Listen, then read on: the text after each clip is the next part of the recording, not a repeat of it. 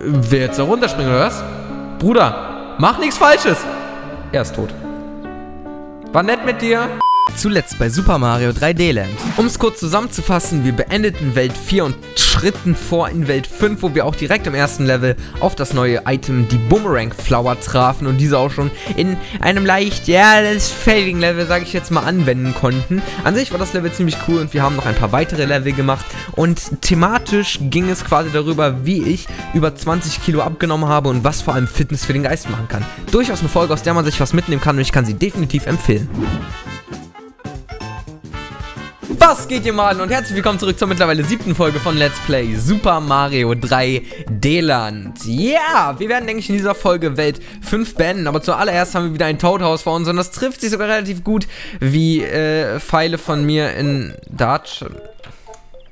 Unguter Vergleich. hey, willkommen auf meinem Kanal.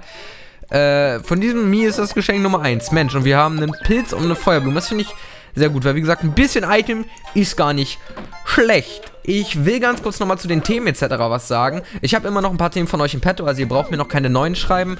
Ähm, aber die, in dieser Folge werde ich noch über ein eigenes Thema von mir reden. Und in der nächsten Folge werde ich ebenfalls nochmal über ein Thema von mir selber reden. Danach werden auch wieder eure Themen kommen. Keine Sorge, nur aktuell habe ich wie gesagt noch so ein bisschen auf was, was einfach so aktuelle Geschehnisse sind, die ich mir auch gerne einfach mal von der Seele dabere, weil, ja, das habe ich ja glaube ich hin und wieder auch mal so gesagt ich gebe aktuell ja für alles sehr, sehr viel Energie und da ist es halt quasi so für mich, also ist ja auch gerade so die ganzen Idioten etc. in der Schule auszuhalten, da ist für mich YouTube einfach, auch wenn es nochmal genauso viel Arbeit ist, äh, so mein mentaler Ausgleich. Also sonst würde ich das andere nicht überstehen, so wisst ihr, ich brauche das hier einfach für die Feelings, damit ich mich trotzdem noch äh, äh, äh wieder irgendwie aus, äh, äh, wie sagt man, ausruhen kann ja von dem normalen Zeug. Und da einfach aktuell viel in meinem Privatleben passiert, viel, was auch so Sachen sind, die ich zum Beispiel in einem Alp, also meiner engsten Freunde mittlerweile erzählen würde, denke ich mir, wenn ich hier über meinen Alltag erzähle, habt auch ihr verdient, dass ich mal darüber rede. So, wisst ihr, wie ich meine? Und hier haben wir schön den Turm abgeräumt. Sehr lecker. Spaghetti Bolognese. Nein, what the fuck. Ich bin nur gerade wieder ein bisschen panisch, dass ich schon wieder irgendwas vergessen habe. Es wirkt wieder schon, als ob wir ein bisschen Content hier hätten. Nein, du solltest nicht noch eine Stampfattacke machen, Mario. Wie dem auch sei, heute nehme ich nochmal ein... Ah, hier haben wir ein Starcoin. Ist das die erste? Ja, okay, dann habe ich nichts verpasst. Ähm, heute nochmal ein eigenes Thema und in der nächsten Folge wird es auch nochmal ein eigenes Thema geben und dann widme ich mich wieder euren Themenvorschlägen. So, heute ist nämlich so das Thema, ich dachte mir, das kann ich nämlich cool benutzen.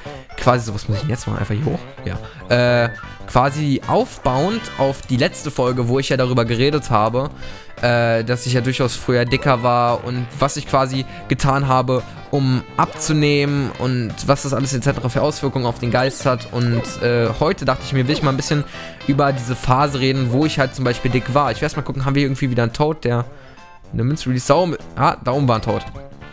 Mit so einem Ding auf dem Kopf. Release du eine Münze für mich, Bruder? Wer jetzt da runterspringen oder was? Bruder, mach nichts Falsches. Er ist tot. War nett mit dir. Ha, er ist gelandet. Ehremann. Okay, aber eine Münze hat er mir leider nicht gedroppt. Egal, eine zweite habe ich dafür schon gespottet gehabt. Die dürften wir gleich erreichen. Ja, und ich dachte mir, dass ich halt heute mal so ein bisschen über die Phase rede, in der ich dick war, beziehungsweise mit einem Augenmerk auf eine, wie soll ich sagen, Sache halt. Äh, ja. Und zwar die Tatsache, dass ich ungelogen zwei Jahre lang meines Lebens nur in Jogginghose rumgelaufen bin. Es gab keinen Tag, okay, vielleicht gab es mal die eine oder andere kleine Ausnahme, aber im Normalfall gab es keinen Tag in dieser Zeit, wo ich nicht mit einer Jogginghose rumgelaufen bin, mit einer Jogginghose in die Schule gegangen bin, mit einer Jogginghose bei Geburtstagen war, mit einer Jogginghose, wisst wie ich meine? Und ich sag schon mal wieder vorne weg, ich will niemand damit verurteilen, ob ihr jetzt Anti-Jogginghosen seid, Pro-Jogginghosen sagt, allgemein Jogginghosen ist das geilste Leben oder wie auch immer. Ich will niemanden dafür auch nur ansatzweise verurteilen. Also jeder kann das und soll das tragen, äh, wie er es nur möchte. Ist absolut kein Stress. So, dann haben wir jetzt ein paar Goldringe, die wir durchfliegen können. Die Goldringe gibt es normalerweise immer nur an meinem Finger. Und ich habe das jetzt Zeit... Ich kann die Stampfattacke nicht mehr abbrechen. Ich habe nicht gesehen, dass die Ringe nach vorne gehen.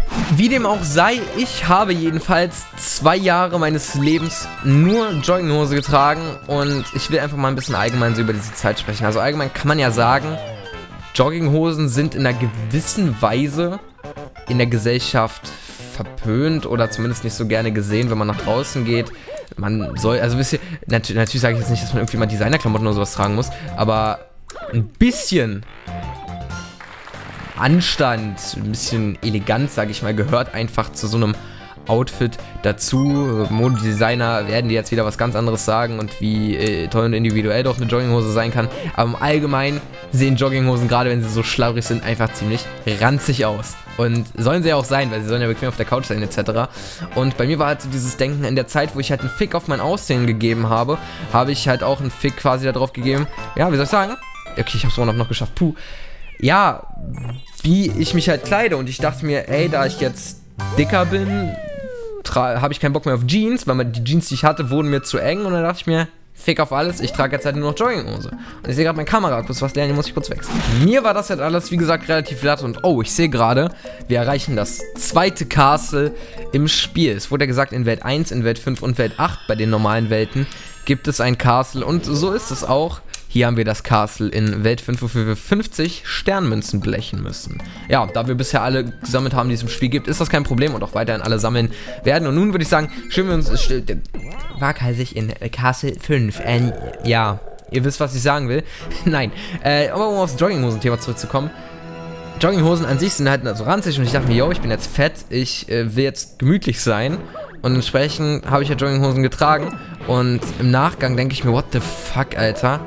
Das ist einfach auch teilweise so eine äh, Sache vom Respekt etc. Wisst ihr, wenn zum Beispiel ein Familienmitglied oder so Geburtstag hat und man geht irgendwie nett in ein Restaurant etc., da finde ich, mittlerweile zumindest, äh, gehört es sich einfach, dass man sich natürlich auch ein wenig, ich sag mal, eleganter anzieht. Man muss jetzt vielleicht nicht unbedingt direkt im äh, teuersten Sakko und im Louis Vuitton-Anzug oder so, noch mal ganz krass gesagt. Äh, aber ich finde, man kann einfach eine Jeans und äh, eine anständige T-Shirt tragen, vielleicht nicht gerade die dreckigsten, äh, ab, abgeranzten Sneaker so auf die Tour und dann passt das schon. So, ist es so krass, äh, dass man da übelst ja, elegant aussieht, darauf kommt es gar nicht mehr ran, aber einfach, einfach ein bisschen manierlich und ordentlich, sag ich mal. Und ja, habe ich halt damals einen kompletten Fick drauf gegeben und ich war halt teilweise bei Geburtstagen und teilweise sogar bei äh, äh, ja, Bewerbungsgesprächen und so einem Shit bin ich in Jogginghose angekommen. Hallo, was macht denn das für einen Eindruck? So, und wenn ich überlege, damals war mir das halt komplett scheißegal. Und ich denke mal, in der letzten Folge hat man auch, ja, quasi von meinen Worten, von meiner Betonung etc. und wie äh, enthusiastisch ich über das Thema gesprochen habe, rausgehört, dass mir mittlerweile halt dieser kleine Fitnessaspekt im Leben und wie ich mich dann entsprechend auch kleiden kann und wie ich aussehen kann, dass mir das Ganze schon wichtig ist. Und wenn ich heutzutage darauf zurückblicke, denke ich mir, wow, wie scheißegal mir das damals war. Das finde ich irgendwie krass. So ganz kurz spotten, da oben ist das Ziel. Und hier werden wir wohl gleich auf den zweiten Bowie treffen. Bowie. Nein. Jetzt fehlt aber immer noch eine Sternmünze. Ich habe fast schon irgendwie das Gefühl, dass die hier oben zwischen den Turms ist. Gehe ich recht in der Annahme? Ne, hier sind nur ein paar Münzen. Jetzt kann ich hier wenigstens krass abkürzen. Ich bin Gangster. Keep spending most their lives living in the gangster's paradise. Das war fucking knapp. Äh, super Song, by the way. Ich bin aktuell so richtig auf meinem 2000er, äh, 90s. Also so, so, so 90er bis 2000er Musiktrip. Übel gut diese Zeit so musikalisch. So, und jetzt dürfte hier unser Bowie langsam auftauchen, ne? Ja, da haben wir ihn ja. Wir haben jetzt am geilen Tanuki-Schwanz, deswegen würde ich sagen, kurz Concentration Mode activated, damit wir dem guten jungen Herrn mir mal auf die Fresse geben können. Wie gesagt, ich habe gerade immer noch ein bisschen Komplexe, weil mir eine Dingens fehlt, aber die scheint hier erstmal nicht zu sein. Hm. Die ist jetzt blöd. Ich hoffe, die kommt noch. Ansonsten, I have a little problem, blöd. So. Ja, du willst hier irgendwie groß den Macker markieren. Oh. Hast du geschafft. Ups. Äh, ja, jump mal bitte nach hinten. Ja, Bruder. Alles klar. Kurz Pause halten. Und sich bitte nicht allzu dumm anstellen. Gerade im Bett ist, wenn man es nicht gerade eilig hat, abkürzen, gar nicht mal so eine gute Idee. Und ich würde sagen, einfach kurz an dir vorbeirushen. Und wo war jetzt das Problem, Digga? Wo war das Problem? Meine Vergleiche und Wortsätze sind wieder auf höchstem Niveau, wie man es natürlich von mir gewohnt ist. Ja, verbrenne dir den Arsch, Bruder. Aber es war nur ein Comic und gar nicht der Original Bowser. Hä? Wie hätte man das nur vorausahnen können, wenn in Welt 1 das nur ein unfähiger Gumba war? Na, wie dem auch sei, äh, da wir jetzt doch alle Starcoins etc. haben, können wir einfach fortfahren, fortfahren zum Fjordfahren und hoffentlich die goldene Fahnenstange erreichen. Komm, enttäusch mich nicht. Yeah! Wenigstens eine Sache, die mir gelingt. Ah, ja, nee, aber tatsächlich muss ich sagen, ist dieses ganze Jogginghosen-Ding krass, wenn ich heutzutage darauf zurückblicke. Das klingt vielleicht immer so locker, aber malt euch das mal aus. So, man, man bekommt natürlich auch immer komische Blicke, gerade wenn du irgendwie an einem äh, Ort bist, wo man vielleicht ein bisschen was, ja, ein bisschen, ein bisschen gehobeneren Kleidungsstil von dir erwartet. Fangen wir mal ganz basic an bei der Schule.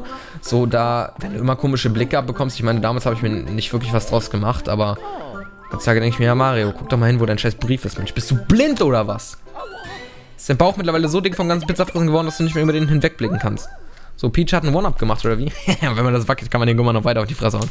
Finde ich tatsächlich sehr gut. Und nachdem es öfters mal in den Kommentaren stand, ja, du musst es manchmal länger machen, dann passiert noch was, versuche ich das gerade mal. Ah, es passiert nichts. Ist jetzt blöd. Ist jetzt peinlich. Ähm. Naja, wie dem auch sei.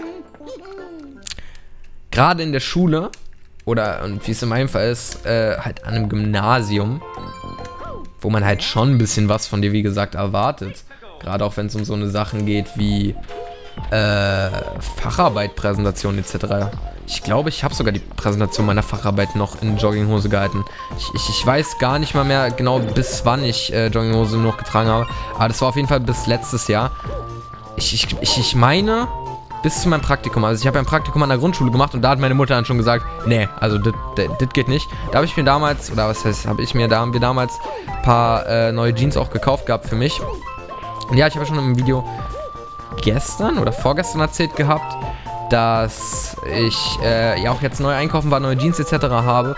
Und ja, ich weiß nicht, wenn ich gerade so die Jeans, die wir dann letztes Jahr auch nochmal gekauft haben, mit den aktuellen vergleiche, da würde ich schon sagen, spreche ich von einem gewissen Stolz. Ich habe schon hier über die Komplexe, dass ich irgendwas vergessen habe. Vor der Halbzeitfahne nix kann ja auch nicht sein. Verarsch mich nicht, Bruder. Das war sehr intelligent. Haha, guck mal, wie ich sage, direkt beim Anfang einfach über die Felsen nach links und wir kommen zur ersten Starcoin, die wir gerade übersehen haben. Bin ich nicht der Beste? Nein, bin ich nicht.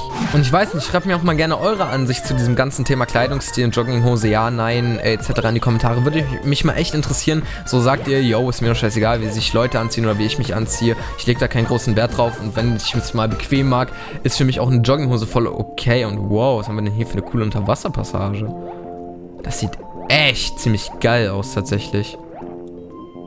Das finde ich sehr cool. Lecker. Wenn ich mich hier gar nicht mehr so doof anstelle, kann ich auch ein Item bekommen. Das ist doch wohl absolut wert. Und ich habe es geschafft. Und wir bekommen Tanuki. Ja, kann man eigentlich ganz gut gebrauchen. Nee, oder sagt ihr, hä, nein, auf jeden Fall muss man sich äh, zu diesen und jenen Anlässen äh, gehoben zum Beispiel mal anziehen. Also gehoben ist vielleicht so, so ein doofes Wort, gerade für Leute, die vielleicht aus der Unterschicht etc. kommen. Aber äh, ich denke, ihr wisst, was ich meine. Ich denke, ihr wisst, was ich meine. So, wie seid ihr im Zweifelsfall auch angezogen? Konnte man hier nicht in einen Wasserfall rein? War hier nicht was? Ja, sage ich ja, Alter. Aber nur ein kleines Ziel. Zack, zack, zack. Hm, was nehmen wir denn hier ausbeutetechnisch vielleicht mit? Ich würde vielleicht die Boomerang Flower und den Tanuki nehmen. Ich glaube, das ist eine gute Kombi. Mit der kann ich ein bisschen arbeiten. Ähm. Und ja, wie kleidet ihr euch? Wie sollte man sich kleiden nach euch? So nach Motto, wie gesagt, gerne damit in die Kommentare. Würde mich mal wirklich interessieren. Und zack, haben wir wieder die Community-Bindung. Ich bin ja einer der wenigen YouTuber auf dieser Plattform, der sich tatsächlich noch um seine Community schert. So, und jetzt gehen wir die dritte Starcoin. Baby! Oh yeah! Oh Gott, da kommt wieder ein dicker Klopper. Und das sieht hier nicht gerade stabil aus. Ich habe es aber noch geschafft. Ich nehme mal vorsichtshalber den Tanuki, damit ich noch die goldene Fahne brav erreiche. Zack. Und damit würde ich sagen, war es auch schon für diese Folge. Ich kann jetzt gerade sehr, sehr schwer abschätzen, wie lang die ist. Im Zweifel ist sie vielleicht mal ein bisschen kürzer. Die letzten paar Folgen waren ja dafür ein wenig länger. Ich hoffe, ihr nehmt mir das nicht übel. Ja, wie gesagt, eure Ansichten dazu gerne in die Kommentare. Und dann würde ich sagen, wenn es gefallen hat, lasst gerne einen Daumen nach oben da. Und abonniert gerne kostenlos den Kanal, um keine weiteren Videos mehr zu verpassen. Würde mich alles sehr freuen. Und damit würde ich sagen, danke für eure Aufmerksamkeit. Bis morgen oder so. Haut rein. Euer Ansgar.